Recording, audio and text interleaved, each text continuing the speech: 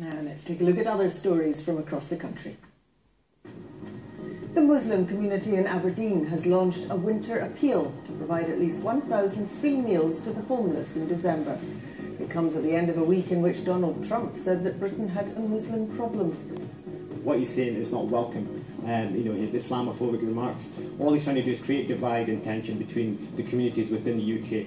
I think the Muslims, uh, you know, can contribute a lot more uh, to, to the UK community. I mean, we have always been doing it, but I think it's time now we shout about it a bit more, let people know, because we need to tell our story.